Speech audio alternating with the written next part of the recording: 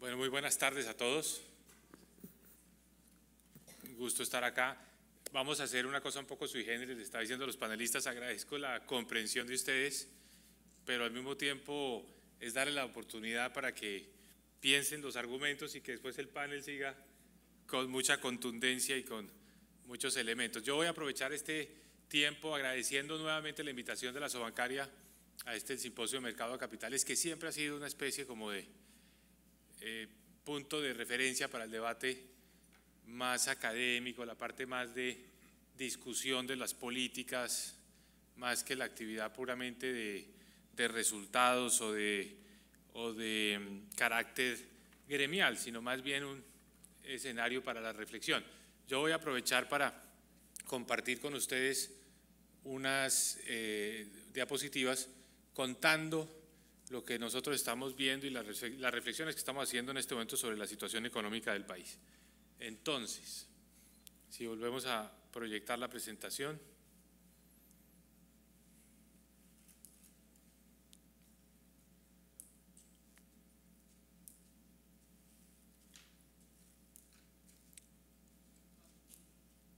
Se nos perdió.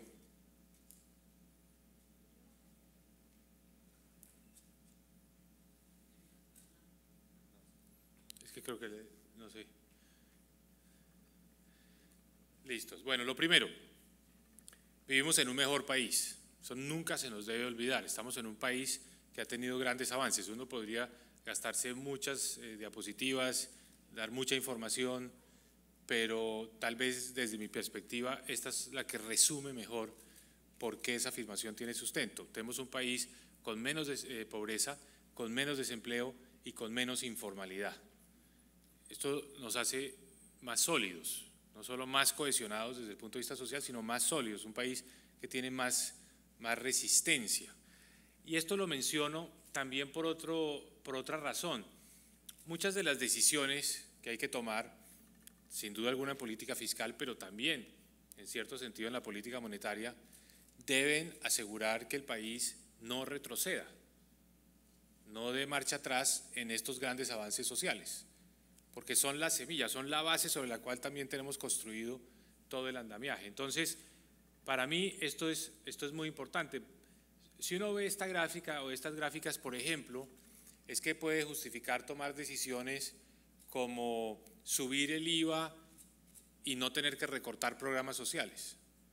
Porque si no hubiéramos subido el IVA, probablemente habríamos tenido que dar reversa en algunos de estos indicadores, sin duda alguna el de reducción de la pobreza, porque lo primero que habría tenido que ocurrir es que muchos de los programas sociales que han permitido bajar la pobreza los habríamos tenido que revertir. Entonces, esto condiciona el manejo de la política económica. Segundo, hay que dimensionar lo que fue el choque que tuvimos que enfrentar. Y aquí hay tres variables que nos ayudan a entender bien la magnitud de ese choque. La primera, la caída de las exportaciones. Perdimos dos terceras partes de las exportaciones de petróleo.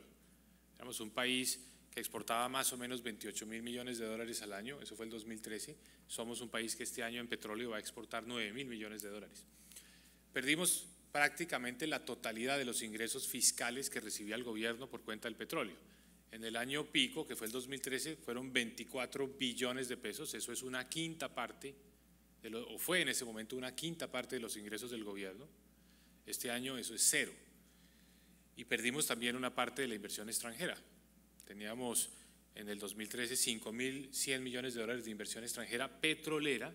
Este año, que ya es mejor que el año pasado, 2.200 millones de dólares. Entonces, este es, esta es la magnitud del choque. Fede Desarrollo hace poco hizo un estudio sobre choques similares en nuestra historia y obviamente con información mucho más precaria, pero encontró que las magnitudes de caídas de exportaciones actuales apenas se comparan con las de la Gran Depresión y con las de la Guerra de los Mil Días. O sea, no es algo que ocurra con frecuencia en la economía, afortunadamente. La primera línea de defensa ante el choque petrolero fue la depreciación de la moneda. Entonces tuvimos una caída del precio del petróleo de más o menos el 70% y el peso colombiano se depreció nominalmente también en un 70%. Yo digo, hubo muchos editoriales, muchas columnas e incluso carátulas. Por ejemplo, en Semana hubo una carátula que me pareció legendaria que decía, nos empobrecimos. Y el mensaje que había detrás era, tenemos que evitar esta depreciación tan fuerte. Mi posición siempre fue, no, todo lo contrario, la depreciación es lo que más nos va a ayudar a salir adelante, porque va a mandar las, las señales correctas, primero para frenar las importaciones y corregir el déficit comercial que se nos abrió tanto, y segundo, para lograr una cosa que siempre habíamos querido tener, y era una moneda un poco más depreciada. Siempre vimos el modelo asiático que estuvo muy acompañado de, depreciación, incluso en algunos casos de subvaluación del tipo de cambio. Para Colombia esto siempre, por lo menos desde mi perspectiva, era algo positivo. Pero naturalmente tuvo un efecto colateral negativo que se supo desde el primer día que iba a pasar, y es el aumento de la inflación, que en el caso de Colombia se agravó por mala suerte por el fenómeno del niño. O sea, dos elementos fortuitos, la caída del precio del petróleo, el fenómeno del niño. Uno que sí es de creación humana, que fue el paro camionero. Pero todos esos elementos fueron los que generaron esa inflación. Y la respuesta del Banco de la República, pues ante una inflación que se salió de la zona de confort, es decir, que salimos del rango meta, pues fue la respuesta obvia de un banco central que está todavía construyendo credibilidad y es subir las tasas de interés. Ayer un estudiante en una universidad me decía que si eso había sido un choque de oferta, ¿por qué se han subido las tasas de interés? Y yo dije, mire, si ese choque ocurre en Inglaterra o en Estados Unidos, seguramente las autoridades monetarias no tienen que hacer nada porque saben que es pasajero y vuelve a bajar. Pero eso es porque tienen 50, 60, 100 años de historia que un choque de oferta no afecta las expectativas de inflación, entonces el Banco Central no tiene que reaccionar. Aquí tenemos que asegurar nuestras eh, expectativas, tenemos que construir esa credibilidad y por eso es necesario subir la tasa de interés, como efectivamente ocurrió a lo largo del segundo semestre del 2015 y todo el 2016. Sin embargo, hay una pregunta válida para hacerse y es eh, si ya debemos dar por concluido el ciclo de disminución de la tasa de interés.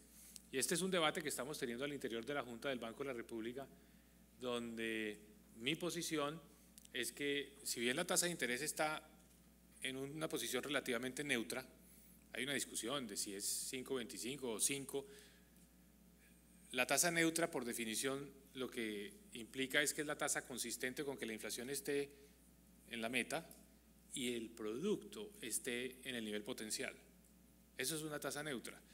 Hoy por hoy el producto no está en el nivel potencial, está muy por debajo del nivel potencial. Entonces, eso debe invitar a pensar en la política monetaria anticíclica. Lo que ha habido ahora no es anticíclico, lo que ha habido hasta ahora es quitar el sesgo contraccionista y llevarlo a la neutralidad. Fíjense la línea roja, la línea roja es la brecha del PIB. Hay muchas formas de medir la brecha del PIB, hay discusiones, pero todo el mundo está de acuerdo en que en este momento el PIB está por debajo del potencial.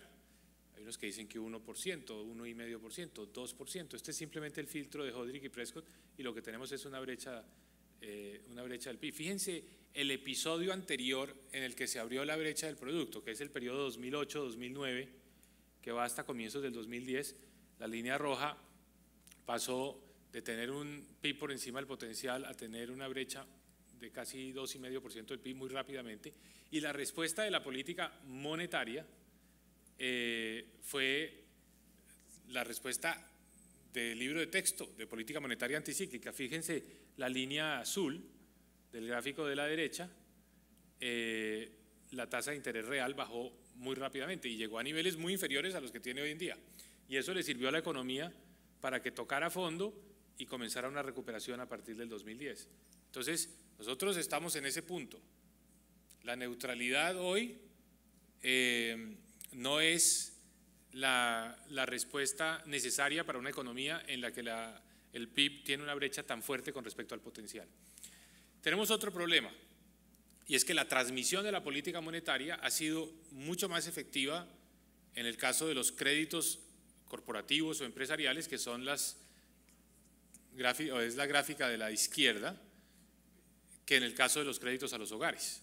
Entonces, fíjense, si ponemos el partidor en diciembre del año pasado en cero, cuando empezaron a bajar las tasas de interés, las tasas corporativas han bajado más o menos en los mismos 250 puntos básicos que han bajado las tasas de política. Pero las de los hogares, no. Fíjense la tasa de crédito de consumo, que es la línea eh, amarilla en la gráfica de la derecha. Ha bajado apenas como 50 puntos base. Tal vez las únicas de los hogares que han bajado un poco más son las hipotecarias. Por eso nosotros dijimos, tenemos un instrumento, que es la tasa de usura. La tasa de usura, quizás en una reflexión en términos generales, no debería existir, pero existe. Y dado que existe, los bancos la utilizan de manera muy generalizada en todos los bancos y frente a todos los clientes para fijar las tasas de las tarjetas de crédito. No hay una razón de fondo para decir que la tasa de usura se tiene que calcular sobre la base de lo que ha ocurrido en los últimos tres meses. Dijimos, para acelerar el mecanismo de transmisión, calculemos la tasa de usura todos los meses. Y eso es lo que ha permitido que la tasa de usura, que es la línea verde, haya bajado más o menos 150 puntos básicos desde septiembre hasta hoy.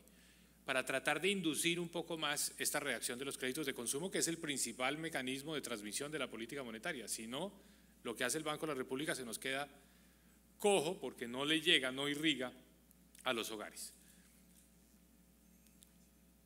El sector financiero ha sido fundamental para los resultados en materia de crecimiento económico en Colombia. Es realmente algo que hay que destacar. El sector financiero hoy pesa un 21% en el PIB, o sea, es el sector más importante de lejos en la economía. Y ese sector, ese 21%, si ustedes ven, ha mantenido un ritmo de crecimiento en esta coyuntura relativamente estable, ha crecido a tasas cercanas al 4%. Eso ha sido fundamental.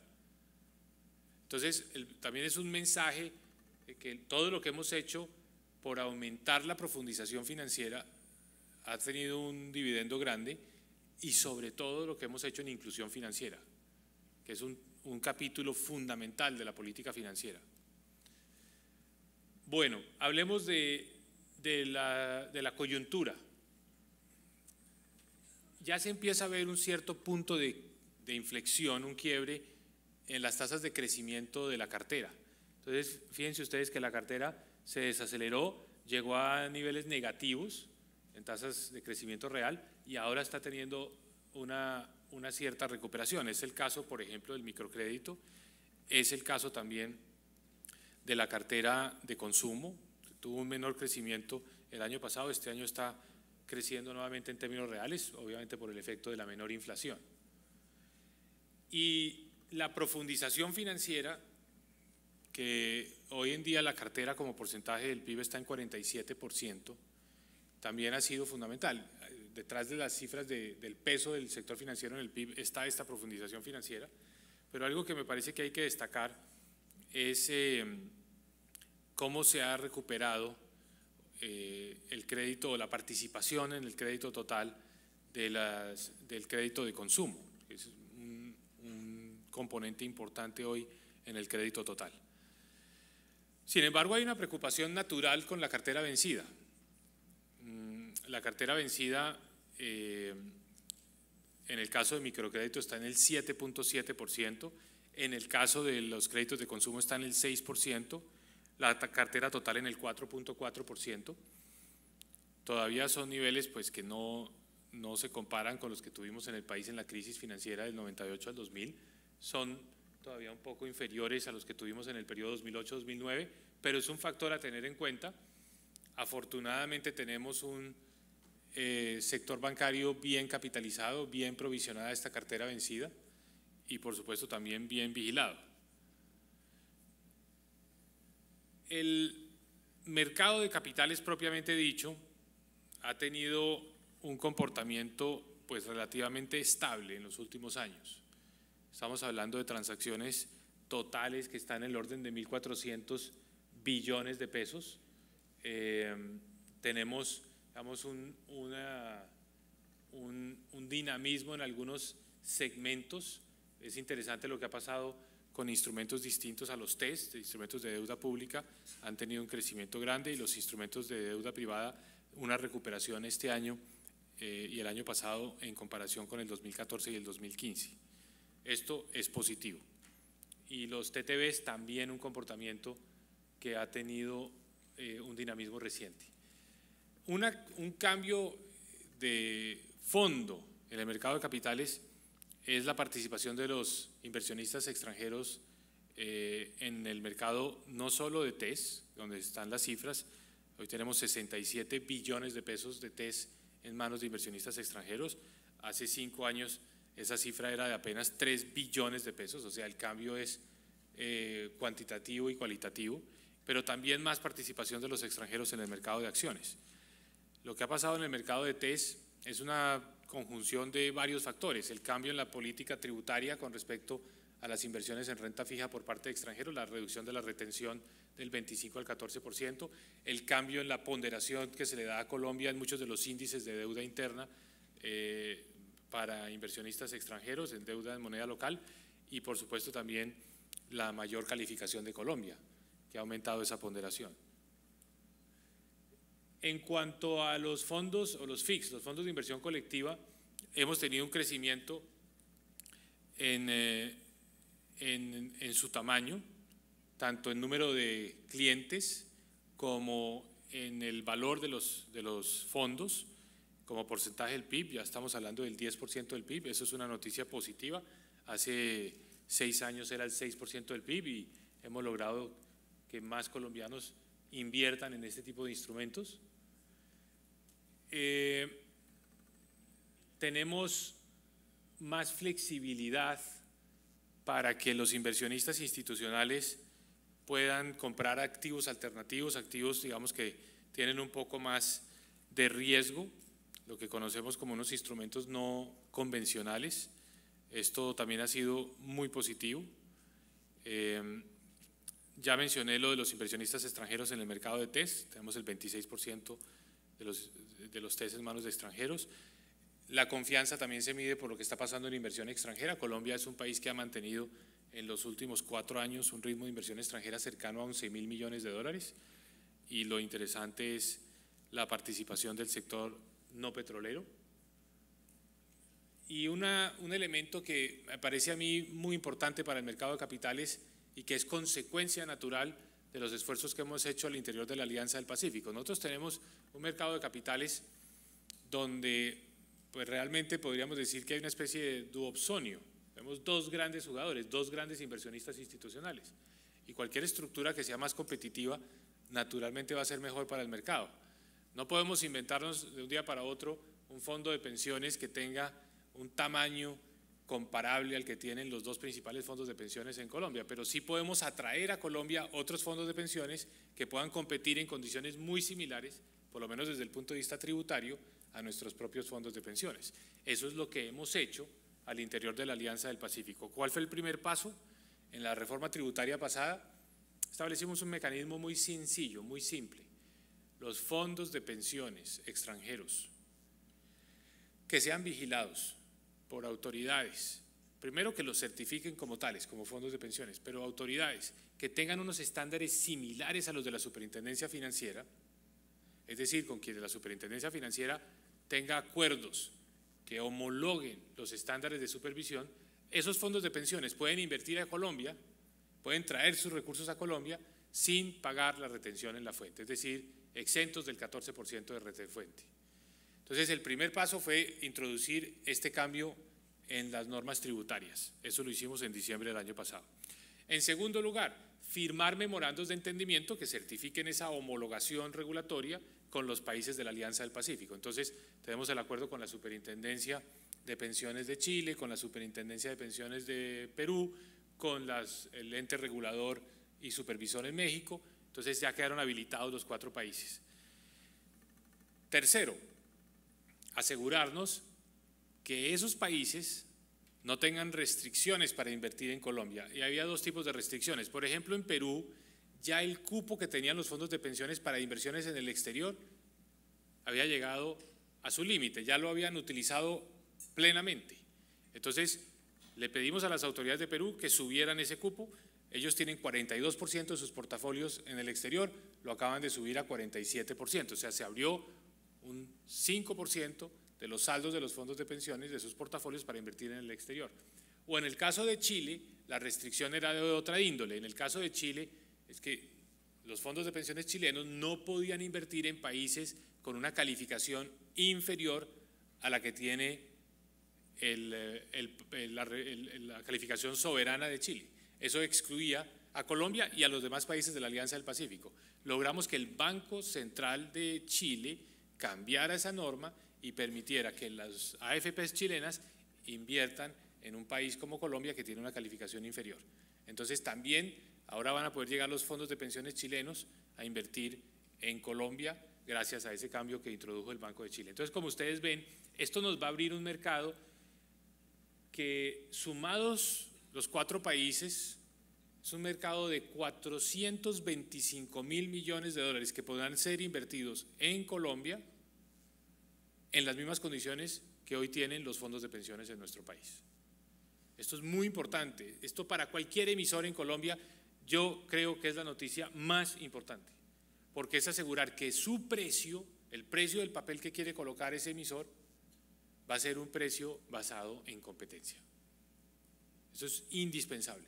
Y esa, en mi opinión, es la consecuencia directa, más concreta de lo que se ha llamado la integración de los mercados de capitales de los países de la Alianza del Pacífico. Los, mercados, los fondos colombianos tienen 63 mil millones de dólares. Comparémonos con los chilenos que tienen 174 mil millones de dólares o los mexicanos que tienen 138 mil millones de dólares.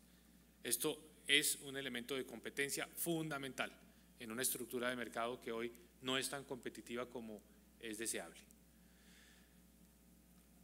Retomemos el tema de la confianza.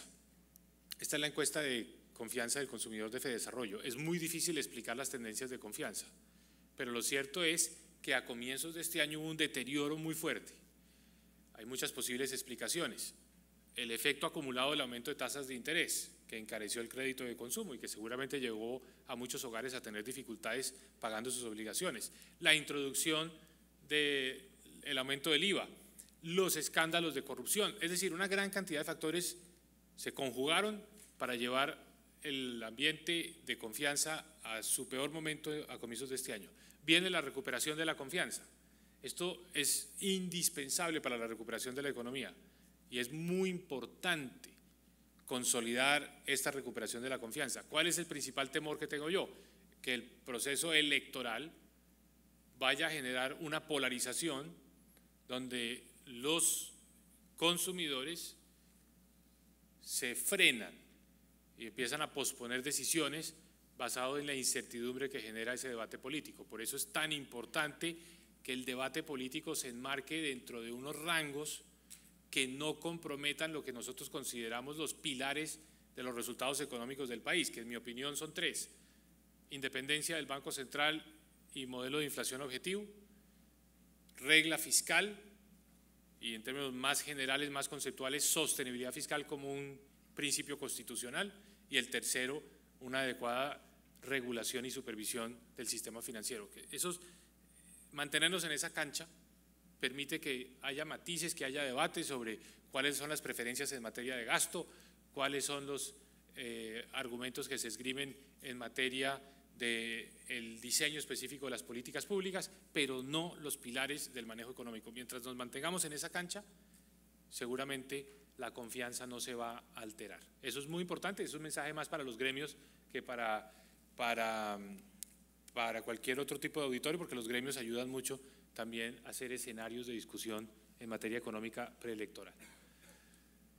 La, confianza también se está viendo en el mercado de capitales. La, encuesta, que por cierto nos inventamos Juan Pablo Córdoba y yo, estando yo en Desarrollo, que es la encuesta de opinión financiera, eh, lo que están diciendo quienes responden esa encuesta es que esperan una valorización de los activos en el mercado de capitales, en este caso el índice Colcap.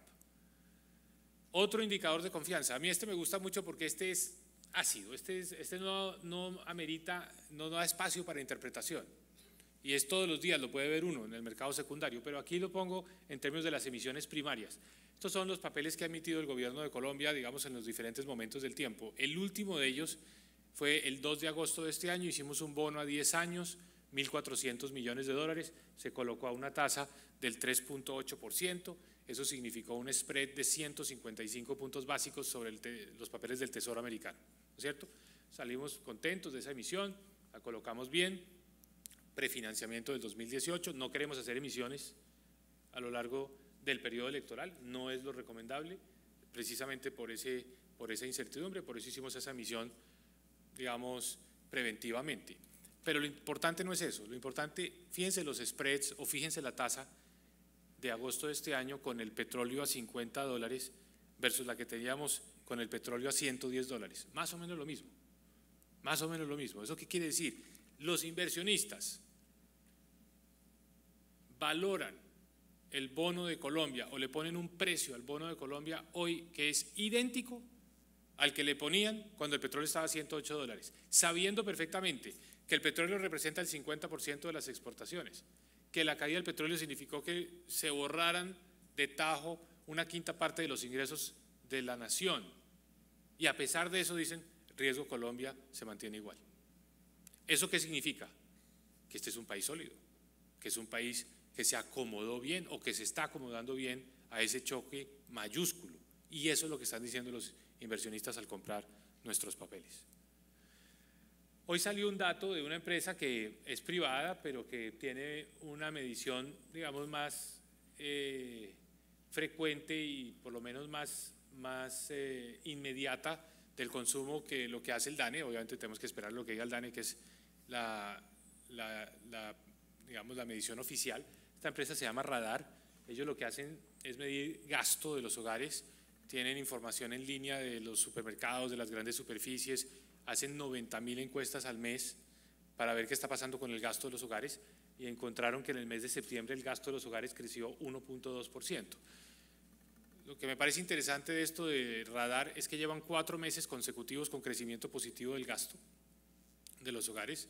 Ya eso marca una tendencia, ya eso reafirma esta idea de que pasó lo peor, de que el consumo se está recuperando y si sigue esa tendencia, la demanda interna va a crecer probablemente al final de este año un 3% y ese factor ayuda muchísimo a reactivar el comercio. De manera que por eso estoy más optimista con respecto al segundo semestre. La industria tuvo un muy buen julio, el comercio también, pero es muy temprano extrapolar conclusiones porque julio del año pasado fue muy malo, fue el mes del paro, entonces habría que esperar a ver el dato de agosto, pero por el momento uno también ve un cierto quiebre en la tendencia de lo que está pasando con la industria y el comercio. Las exportaciones creciendo bien, 18% las tradicionales, 9% las no tradicionales. También punto de inflexión, también pasó lo peor en términos de la caída. Obviamente el nivel de las exportaciones hoy es mucho menor al que tuvimos en el pasado, pero ya por lo menos hay crecimiento, lo cual es positivo. Ahora, voy a hablar muy rápidamente de los dilemas grandes de política que, que, uno tiene como ministro de Hacienda y que seguramente van a ser tema de discusión en las campañas políticas. Bueno, ya están siendo discusión. Eh, FENALCO en estos días propuso eliminar eh, tres puntos del IVA. Yo no sé si esa es una posición gremial, eh, analítica, o si es una posición más bien política, proselitista, eh, de alguien que aspira a tener participación en ese debate político. Pero lo que sí puedo decir es que lo que ocurre o lo que le pasaría al país si no tiene esos ingresos sería traumático, sería absolutamente traumático. Se los ilustro con un ejemplo. Esto fue lo que hicimos con la adición presupuestal con los recursos que aportó el IVA. Hay un subsidio que ya se ha vuelto prácticamente como un derecho adquirido, como un lugar común, ni siquiera se habla de eso, nadie habla de eso, que son los subsidios que damos a los servicios públicos, particularmente energía y gas, en los estratos 1, 2 y 3. Esos benefician a 11 millones, 11 millones de hogares. En el estrato 1, solamente para hablar de ese, ese subsidio es el 60% del costo. O sea, una familia de estrato 1 hoy paga más o menos 17 mil pesos mensuales, pero el costo del consumo de energía de ese estrato es del orden de 47 mil pesos mensuales. Si nosotros no hubiéramos hecho esta adición, no habríamos tenido con qué pagar esos subsidios en el último trimestre. Eso es menor ingreso disponible de los hogares más pobres. Lo mismo hubiera pasado con familias en acción, no habríamos tenido con qué mantener el programa en el último cuatrimestre. Lo mismo habría pasado con el régimen subsidiado de salud. Nos habríamos quedado sin los recursos para la afiliación en los últimos dos meses. Es el tipo de cosas que hubieran ocurrido. Porque ese fue el debate de fondo sobre la reforma tributaria. O sea, uno hace esto, adopta la medida de subir el IVA, para poder mantener estos programas sociales. ¿Por qué? Porque considera que para el país Es más costoso desmontar estos programas sociales que subir el IVA, porque esto es lo que nos ha ayudado, insisto, a reducir la pobreza. Y al mismo tiempo tuvimos que hacer otra cosa, reducir la carga tributaria de las empresas por un argumento de competitividad. ¿Por qué? Porque si perdimos ese viento de cola que era el petróleo y los precios de los commodities, necesitábamos repotenciar nuestros propios motores, nuestra propia eh, actividad empresarial y para eso tuvimos que bajar los impuestos. Pero lo, menciono, lo ilustro simplemente con un ejemplo. He presentado esto en una gran cantidad de foros, no de analistas, no de académicos como ustedes, pero de empresarios. Y les he dicho, si uno de ustedes considera que esta información que yo estoy presentando acá no es cierta, escríbame, corríjame y la rectificamos. Y no he recibido la primera carta o solicitud de modificar esta información. Estos son los impuestos que paga una empresa prototipo, obviamente en esto hay que es, muy difícil hablar de manera generalizada, estoy hablando de una empresa prototipo, es una empresa grande, una empresa que vende 15 mil millones de pesos al año, perdón, que tiene un patrimonio de 15 mil millones de pesos, que vende 10 mil millones de pesos al año, que tiene utilidades de mil millones de pesos y que tiene 90 empleados que ganan cada uno dos salarios mínimos. Una empresa prototipo, pero se puede hacer con otro prototipo, no hay ningún problema. Esa empresa pagó en el 2010 728 millones de pesos de impuestos. Este año va a pagar 398. O sea, la disminución no es menor. ¿Por qué?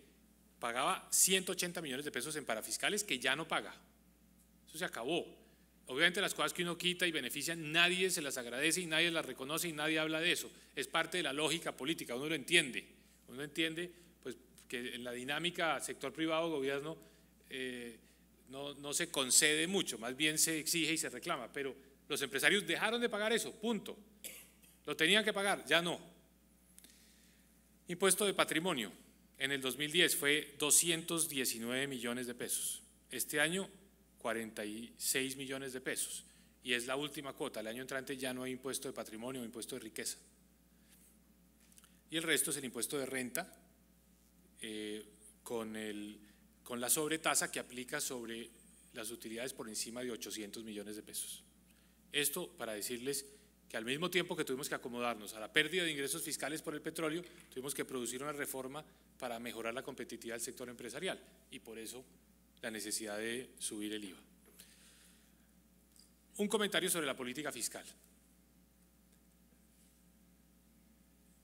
La oposición le encanta decir que este gobierno malgastó la reforma, la bonanza petrolera. ¿Ustedes han oído eso? ¿Lo han oído? Yo sí, mil veces. Entonces, yo le contesto a la oposición con este cuadro dos terceras partes de la explicación de qué se hizo con la bonanza petrolera. Nosotros heredamos un déficit del 4% del PIB. Ese había sido el déficit del gobierno nacional en el 2009 y el 2010. Lo primero que se hizo fue reducir ese déficit fiscal en dos puntos del PIB, bajarlo de 4 a 2. Y ahí lo pusimos mientras duraron los ingresos petroleros en su nivel alto. O sea, la primera inversión que se hizo con la bonanza petrolera fue reducir el déficit fiscal, dos puntos del PIB. La bonanza dio un punto más y ese punto se invirtió. No los voy a aburrir a ustedes en qué y todo el detalle, en qué se hizo con ese punto, porque lo más importante es haber reducido el déficit fiscal y muy importante para el mercado de capitales, porque fue precisamente después de esa reducción del déficit fiscal, de bajarlo de 4 a 2, que Colombia logró la calificación triple B en el 2013. Y lo más importante, logramos la calificación triple B cuando el petróleo estaba a 100 dólares y la hemos conservado con el petróleo a 50 dólares. Eso es lo más importante. Ahora, cierto, después de la descolgada del petróleo, tuvimos eh, una disminución muy fuerte de los ingresos y eso ha vuelto a ampliar el déficit fiscal. El año pasado el déficit fiscal fue de 4% del PIB. Pero hoy, digamos, tenemos una, una regla fiscal, que es la que nos impone la trayectoria.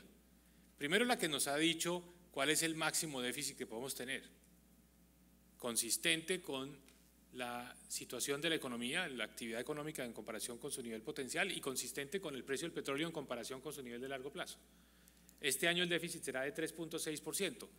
Al que tenga alguna duda sobre eso, eh, se la puedo despejar. El déficit de este año será 3.6% del PIB. Y el año entrante 3.1%. ¿Qué explica la diferencia entre este año y el entrante?